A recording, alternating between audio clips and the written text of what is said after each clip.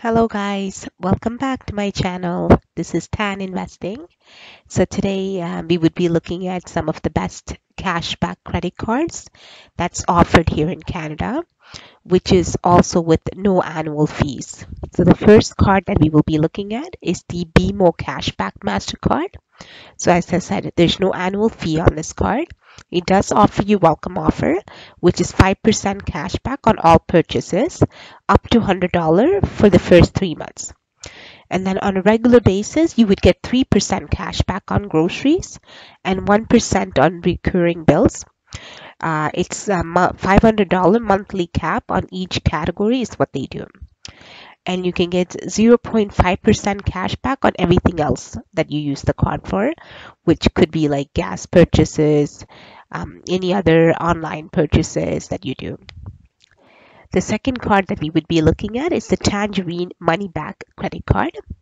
Again, no annual fee on this card. You can earn 2% cash back on purchases.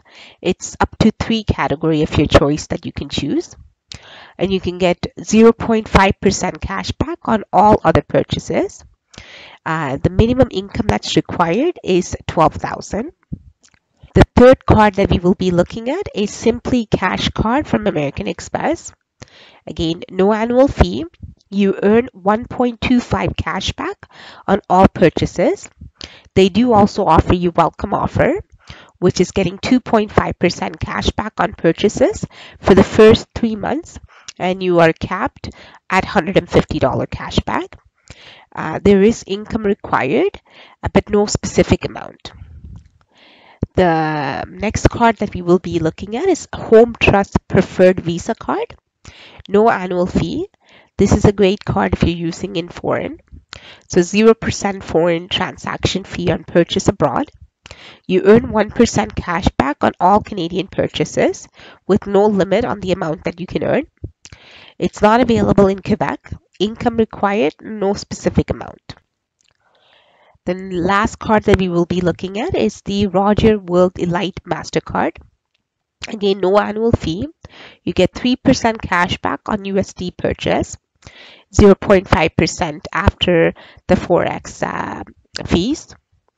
You get 1.5% cash back on all other everyday purchases. The income requirement for this card is about 80,000 minimum spend requirement is that you must be charging at least 15000 on the card to maintain your eligibility. So this would be a great card for like a business uh, people who do a lot of purchases in us so i hope um, you have learned something about uh, some of the free cards uh, with cashback options that's available here in canada. And thank you again for supporting my channel and watching my channel Uh, please don't, for, don't forget to like, subscribe, and turn on those post notifications. It means a lot to me. Thank you so much for taking your time in tuning in to my channel today. Have yourself a great day. Take care. Bye then.